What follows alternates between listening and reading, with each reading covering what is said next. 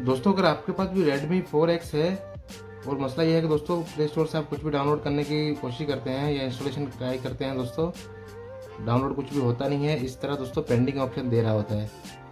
तो कोई ना कोई दोस्तों एरर आ जाता है। Slow data slow internet internet error यानी कि दोस्तों, कोई सा भी एरर आ जाता है, लेकिन डाउनलोडिंग जो है वो स्टार्ट होती नहीं है। करना क्या दोस्तों, अब थान से ट्रिक बताऊँगा, जिससे आपका ये मसला सॉल्व हो जाएगा।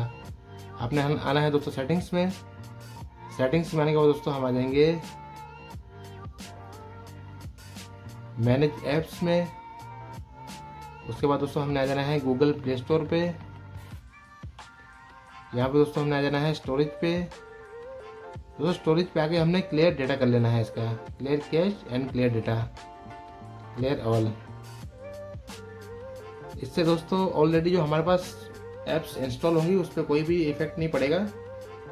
आपका जो मसला है वो सॉल्व हो जाएगा। वापस आएँगे दोस्तों हम। दोबारा से प्ले स्टोर को हम कर लेंगे ओपन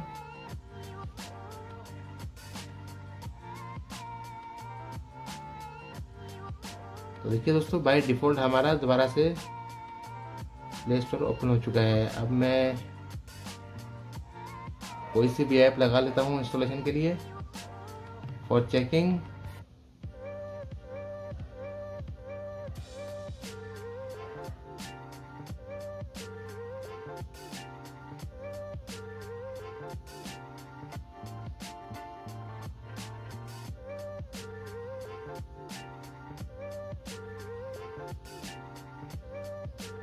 तो देखिए दोस्तों, हमारा डाउनलोडिंग का जो सिस्टम था वो बिल्कुल ओके हो चुका है।